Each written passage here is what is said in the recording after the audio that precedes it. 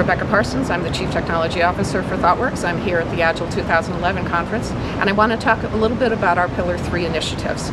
ThoughtWorks organizes its business around three pillars, and Pillar 3 represents um, our intention to advocate passionately for economic and social justice. One aspect of our Pillar 3 activities is something we called our Social Impact Program.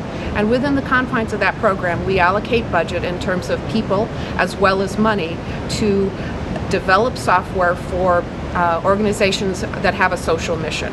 One area that is of particular focus of ours has to do with the use of mobile communications in the developing world. And the current funding model for many projects that go on in the developing world has, is, is very project focused. And so an organization like the Gates Foundation will give a grant to do a particular project and that's all that that grant is for.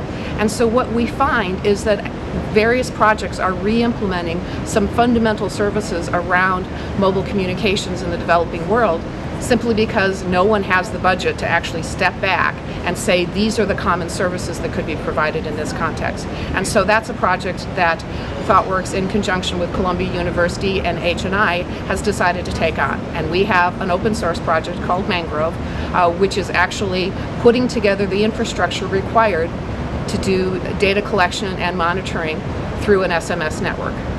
And we're, we're putting this out in the open source community and we're rolling out a sample application of it, again in conjunction with, with HNI, to do, uh, to, to do health related uh, projects within India.